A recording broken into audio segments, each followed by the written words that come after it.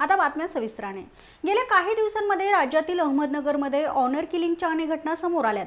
आणि राज्यात सातत्याने असे प्रकार घडत असल्याने याविरोधात विशेष कायदा करण्याची मागणी पुण्यातील मानवाधिकार कार्यकर्ते ॲडव्होकेट विकास शिंदे यांनी केली आहे.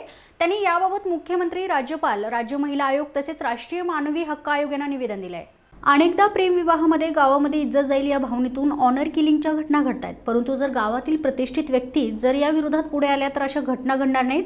त्यामुळे असा कायदा करणं आवश्यक असल्याचं मत ॲडव्होकेट विकास शिंदे यांनी व्यक्त केलं आहे मात्र नक्की हा विशेष कायदा काय आहे हे जाणून घेतले आमच्या प्रतिनिधी वर्षा हिरे यांनी. अहमदनगरसह राज्यात ऑनर किलिंगच्या घटनांचं प्रमाण मोठ्या प्रमाणात वाढलं आहे. या घटनांना रोखण्यासाठी विशेष कायदा करावी याची मागणी पुण्यातील ॲडव्होकेट विकास शिंदे यांनी केली आहे. नेमकं काय हा प्रकार आहे आपण त्यांच्याकडनं जाणून घेणार आहोत? सर फक्त ऑनर किलिंगच का? कारण राज्यात बऱ्याचशा अशा घटना होत असतात की ज्याच्यासाठी विशेष कायदा नाही आहे तर तुम्ही हाच मुद्दा का घेतला? आपण जे प्रश्न विचारला आहे की ऑनर ऑनर किलिंगसाठीच तुम्ही का फक्त कायदा मागताय? तर बाकीच्या विषयांसाठी कायदे आहेत. ऑनर किलिंगसाठी पण कायदा आहे. ऑनर जर कुणी किलिंग केलं किंवा खून केला त्यासाठी कायदा आहे आपल्याकडं. पण आम्ही राईट टू लवचं काम करतो आहे मागच्या चार वर्षापासून. आणि कोर्टामध्ये पण मी वकिली करतो आहे त्यामुळं माझ्या लक्षात असं आमच्या आलं की ज्यावेळेस आम्ही राईट टू लवचं काम करत असताना आंतरजातीय आंतरधर्मी विवाह ज्यावेळेस होतात त्यावेळेस आमचा संपर्क पोलिसांबरोबर येतो मुलीच्या घरच्यांबरोबर मुलाच्या घरच्यांबरोबर येतो आणि समाजातील इतर इतर घटकांबरोबरही संबंध येतो. त्यावेळेस आमच्या असं लक्षात आलं की पोलिसांकडे गेल्यानंतर पोलिसांना खूप असं नाही का जो आत्ता कायदा अस्तित्वात आहे त्या संदर्भातला त्यामध्ये खूप अशा त्रुटी आहेत किंवा कमी कमी आहे तो कायदा. तर त्यामुळं असं वाटायला लागलं की वेगळा विशेष काहीतरी कायदा असला पाहिजे. आणि आत्ता जे आपण पाहतोय की देशभरामध्ये खूप मोठ्या प्रमाणात ऑनर किलिंग होत आहेत. पण त्यापेक्षा भयानक आहे की आपल्या महाराष्ट्रामध्ये ऑनर किलिंगचं प्रमाण वाढत चाललं आहे मागच्या वर्षभरापत सहा जवळपास घटना महाराष्ट्रामध्ये घडल्यात. तर इथून पुढं घटना ह्या वाढ वाढण्याची शक्यता लक्षात घेऊन आम्हाला असं वाटलं की या संदर्भात एक विशेष कायदा सरकारने केला पाहिजे जेणेकरून हे जे सगळे जीव जातात निष्पाप लोकांचे त्यांची काही चूक नसताना किंवा संविधानाने जो आपल्याला अधिकार दिला जीवन जगणं त्यामध्ये सगळं प्रेम करणं लग्न करणं ह्या सगळ्या गोष्टी येतात. त्यामुळे संविधानाचे जे अधिकार दिलेले आहेत त्या अधिकाराचं उल्लंघन होणार नाही यासाठी हा कायदा खूप गरजेचा आहे. आणि त्यामुळे विशेष कायद्याची आम्ही मागणी केलेली आहे. नेमके या विशेष कायद्यामध्ये काय काय मुद्दे असणार आहेत? आता हा कायदा करत असताना आम्ही आता अभ्यासच करतो अजून पण पण तरी आम्हाला जे वैयक्तिक जे अनुभव आजपर्यंत आलेले आहेत त्या संदर्भातले.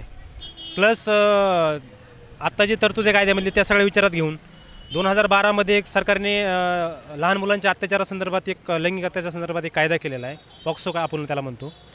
त्या कायद्यानुसार कायद्या कायदा जसा आहे तो त्यामध्ये एक काय आहे की ज्या व्यक्तीला कोणी पण व्यक्ती असू द्या त्या व्यक्तीला जर लक्षात आलं की या ठिकाणी लैंगिक अत्याचार होण्याची शक्यता आहे लहान मुलांना किंवा होत आहेत तर त्या व्यक्तीला कंपल्सरी केलं त्या कायद्याने की त्यांनी पोलिसांना रिपोर्टिंग केलं पाहिजे.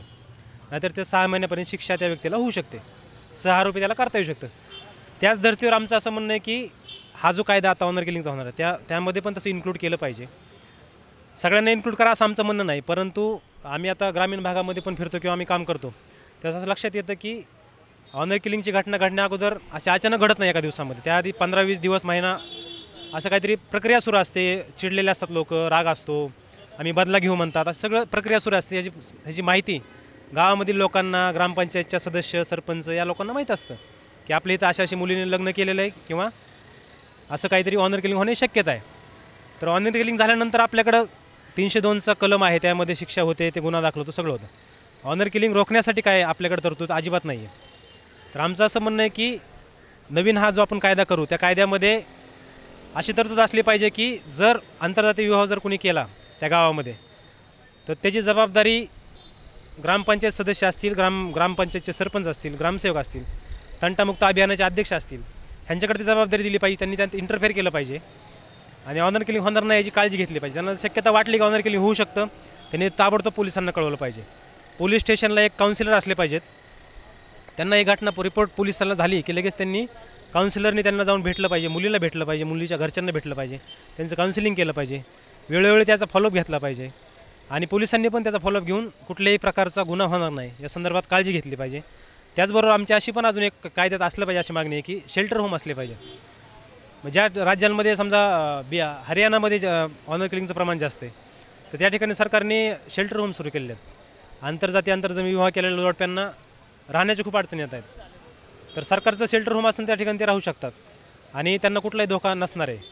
दुसरे की हे जे महत्त्वाचे घटक आहेत दुसरा आता जी घटना चोंडीला घडलेली आहे त्याच्यामध्ये ते मुलीचं लग्न झालेलं नाही काही नाही पण सतरा वर्षाची मुलगी आहे फक्त प्रेम प्रकरण आहे असं ब- बापाला वाटल्यामुळे बापाने खून केलेलं तिचा.